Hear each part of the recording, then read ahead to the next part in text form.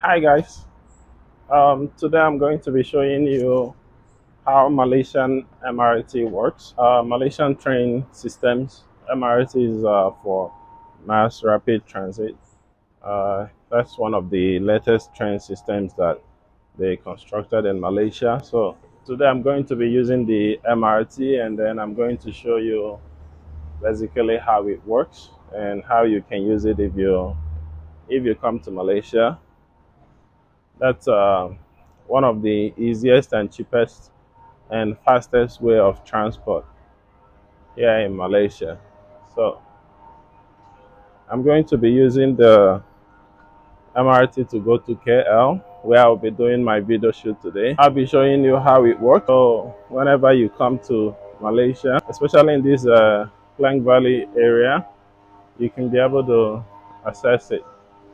So in order to use the MRT system, you have to have your touch and go card. They use the touch and go card to access the MRT system and it's something like this. So whenever you come to Malaysia, you have to purchase the card. I talked about it in my previous video about driving in Malaysia. So if you're driving in Malaysia or you're using the public transport, you have to have this card. They use it for toll payment and they use it for public transport systems also. So if you purchase the card, you can be able to top it up and you can be able to use it. Okay, the train station is open. We can be able to use it. So I'm going to use the touch and go card to access the train. I'm going towards Kuala Lumpur, the central city. So I'll show you how you can use it. First of all, this is the entrance gate and all you have to do is touch your card here.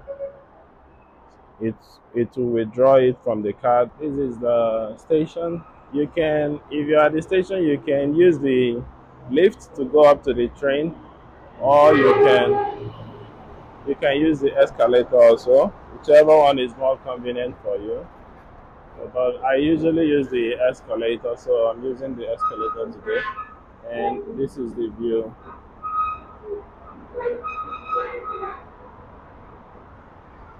The train is up there.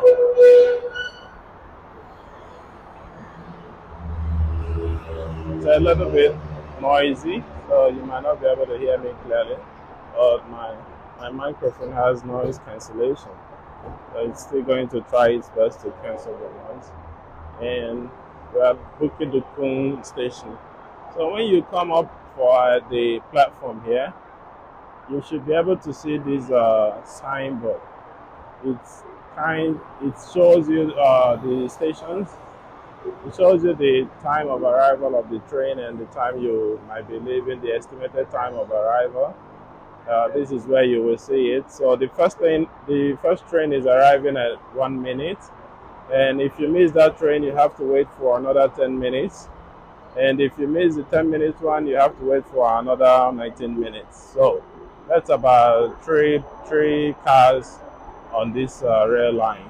So the first one is zero minutes, which means it's uh, almost arriving, and this is it coming from there. This is the train that we'll be using to proceed to KL.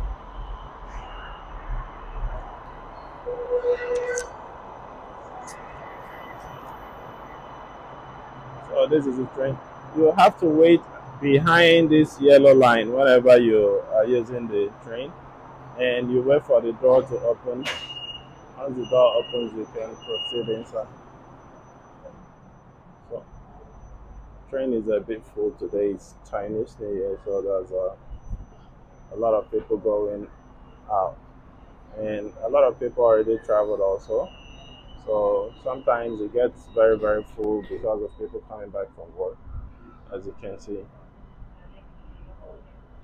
So there's a, quite a lot of people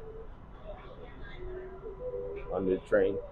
But during uh, rush hour, during work time, when people are coming back from work, there's there's more people. The train is usually very very full and packed, so you have to struggle to find space. But not as packed as the Japanese station. So you can always see the next station there. That's uh, where you see next station and where you'll be stopping. It shows all the stations and uh, where you need to stop. So you, if you're new and you don't know how to navigate, you make sure you use the navigation board. That's where you can be able to see uh, which station you'll be stopping. So I'm going to KL today, so I think I'll be, um, I think I'll be stopping at uh, Museum Negara.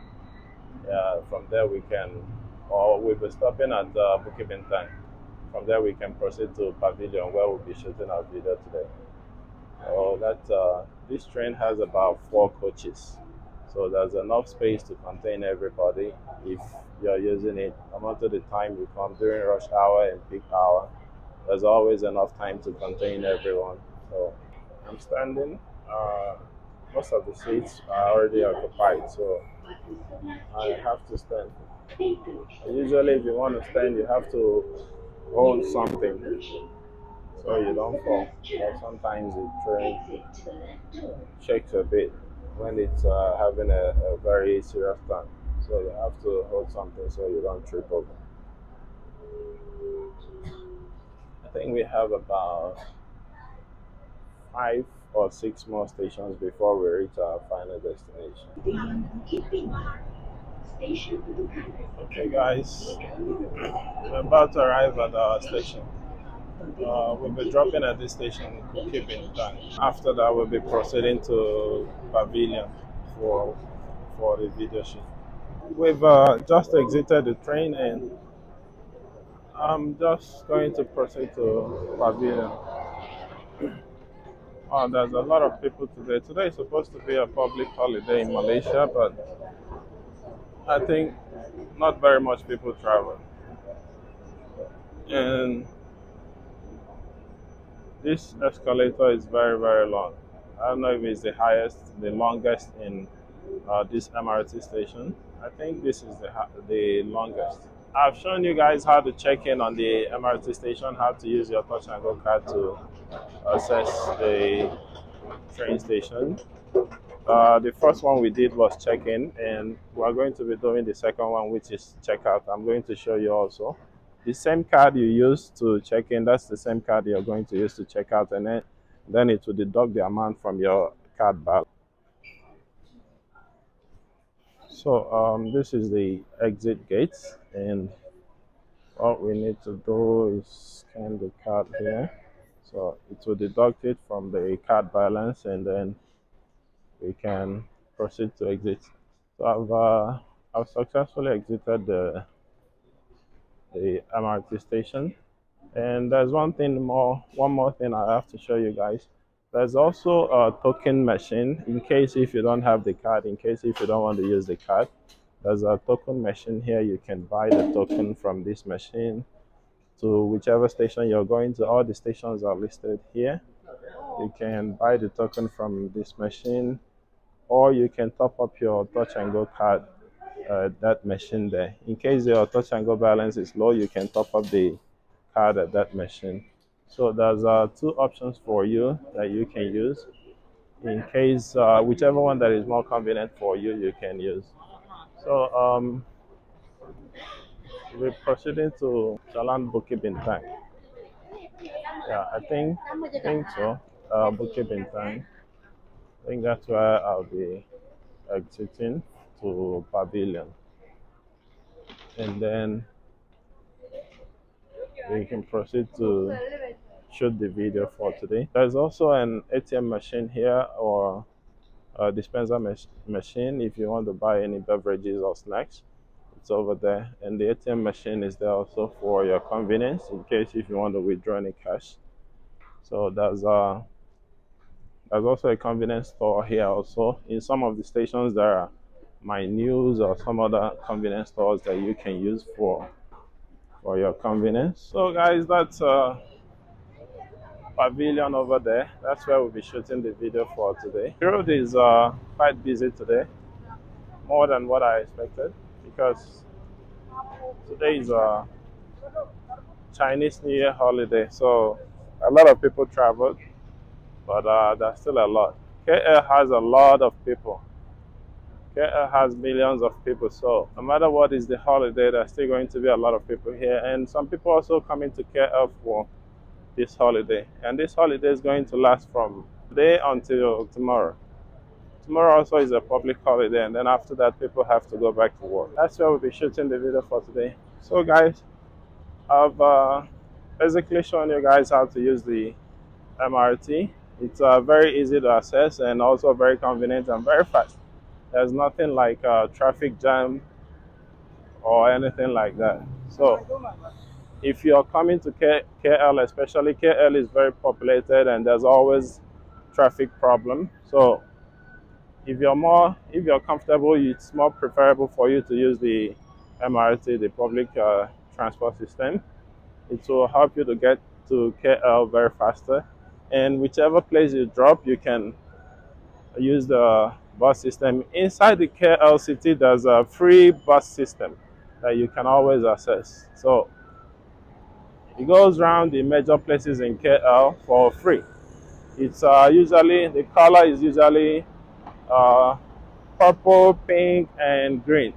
So if you see any purple, pink, and green bus in KL, it's usually free. You can enter it and go to wherever you want to go in KL for free without paying anything.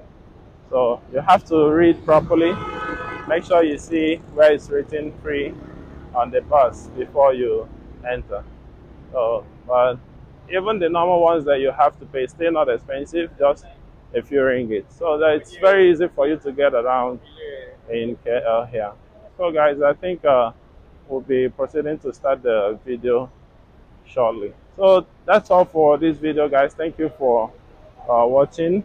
Do remember to subscribe to my YouTube channel and I'll see you again. Bye bye.